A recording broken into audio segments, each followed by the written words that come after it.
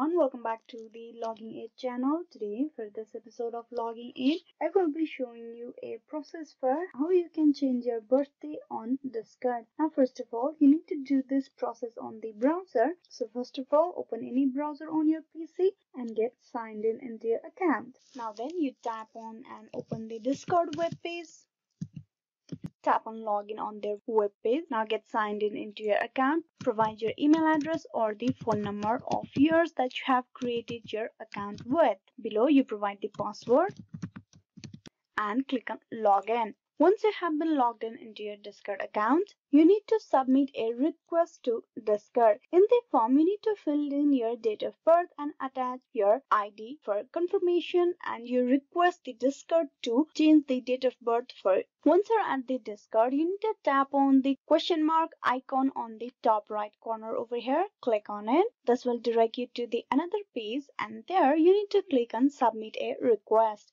You click on that link. Once you're at the submit a request page, you need to tap on the drop down menu and from here you scroll down and choose the option for why you are doing it. Now here you need to choose the trust and safety option. Once you have done that, you will be asked to provide few more information. First of all, you provide your email address. Then you need to choose the option for how they can help you. Here you choose the appeal is update or other question. Now here inside is update. You click on the drop down menu and if you scroll down you will see the option of update my is information. You click on that then you provide your phone number and your date of birth. Then here you need to make sure that you tick mark this checkbox over here. Click on it and there you need to provide a subject. So for subject you can type in need assistance in changing my is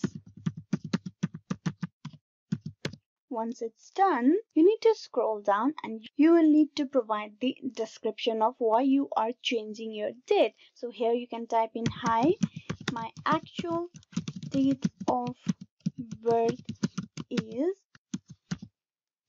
but I put 1996 by accident. Then just type in please help me change my date.